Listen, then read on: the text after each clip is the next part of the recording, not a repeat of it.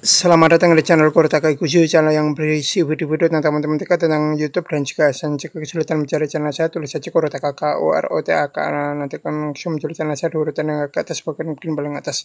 Di video saya yang ke 3403 ini saya akan membahas soal turunan ya, soal titik stasioner.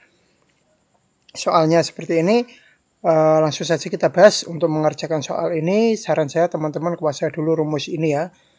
Nah, ini ada lima rumus ini saran saya kuasai dulu rumus ini agar bisa mengerjakan uh, titik stasioner pakai cara turunan jadi untuk mengerjakan titik uh, stasioner itu kita pakai rumus ini ya turunannya itu sama dengan 0 jadi f aksen x sama dengan 0 nah, f aksen x kita carinya berdasarkan lima rumus ini Pertama ini adalah 2x pangkat 3. 2x pangkat 3 itu rumus yang dipakai adalah rumus kelima ya.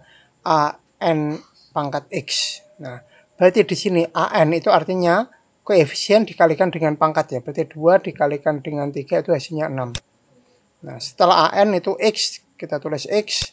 Kemudian ini n kurangi 1, itu artinya pangkatnya dikurangi 1. Berarti 3 dikurangi 1, 2. Nah, min tetap tulis min di sini. Kemudian 6x itu pakai rumus ketiga ya. ax hanya ditulis A-nya saja, X-nya dibuang. Berarti 6X, X-nya dibuang menjadi 6. Nah, ini sama dengan 0, tetap tulis sama dengan 0. Nah, kalau sudah ini min 6, nanti pindah ruas ke kanan menjadi plus 6 ya. Berarti menjadi 6, seperti ini. Kemudian tinggal ini, 6 pindah ke sini menjadi bagi ya. Karena ini kali pindahnya jadi bagi. 6 dibagi 6 itu 1. Berarti X kuadrat sama dengan 1. Nah, kalau sudah X kuadrat sama dengan satu seperti ini nanti ketemu X-nya ya. X-nya itu sama dengan satu atau X sama dengan negatif satu atau min satu. Nah, ini dari mana? Satu itu berasal dari sini ya. Akar satu itu sama dengan satu. Nah, kemudian pasangannya berarti min akar satu. Nah, akar satu kan satu, berarti min satu. Gitu. Kalau X-nya sudah ketemu, tinggal disubstitusikan ke Fx-nya. Berarti kita cari F X-nya diganti satu X ini diganti satu ini diganti satu ya. Berarti F1 sama dengan nah ini ya F tetap tulis F kurung buka tetap tulis kurung buka X diganti satu kurung tutup tetap tulis kurung tutup sama dengan tetap sama dengan dua tetap tulis dua X diganti satu pangkat tiga tetap pangkat tiga min tetap min 6 tetap 6 X nya diganti satu. Seperti itu Kemudian tinggal dihitung satu pangkat tiga itu satu ya, karena satu dipangkatkan berapapun hasilnya satu dikali dua hasilnya dua.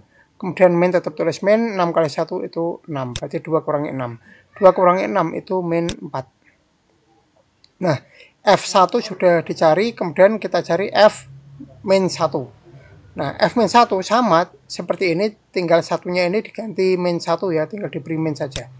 Nah, kalau sudah tinggal dihitung ya min 1 dipangkatkan 3. Nah, kalau ada negatif dipangkatkan ganjil hasilnya tetap negatif. Berarti ini nanti negatif 2 ya. Nah, sedangkan ini min kali min itu kan plus ya. Berarti 6 kali 1 6, berarti plus 6. Berarti min 2 plus 6.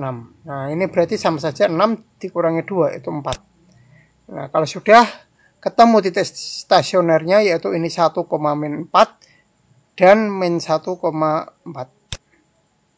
ini adalah titik stasionernya. Kurang lebih demikian ya video saya kali ini. Semoga bisa dipahami. Jika masih belum paham, bisa ulangi lagi videonya. Jika masih belum paham, ulangi terus sampai benar-benar paham. Jika materi ini terlalu sulit buat teman-teman, pelajari dulu materi dasarnya ya, yang materi soal uh, turunan ya, yang ada di video-video short saya itu yang dasar-dasarnya. Kalau itu uh, video yang saya upload di short yang membahas tentang turunan belum dikuasai, mungkin akan kesulitan untuk belajar materi yang kali ini. Jika ada kesalahan dalam perhitungan, pengucapan, dan lain-lain, mungkin saya kurang teliti sebagai manusia biasa, harap dimaklumi. Jika mengalami kesulitan di materi ini maupun materi-materi yang lain, juga boleh berikan komentar, tanggapan, dan juga pertanyaan. Kurang lebih demikian, semoga bermanfaat. Jangan lupa like, subscribe, share, bunyikan lonceng, berikan komentar positif sesuai video saya, tonton juga video-video saya yang lain. Jangan komentar spam, jangan komentar kepas, jangan komentar dengan link, jangan komentar minta subscribe, jangan komentar minta kunjungi. Yang paling penting, jangan melanggar peraturan YouTube dan jangan mengajak melakukan pelanggaran YouTube. Terima kasih sudah menonton video saya ini sampai selesai.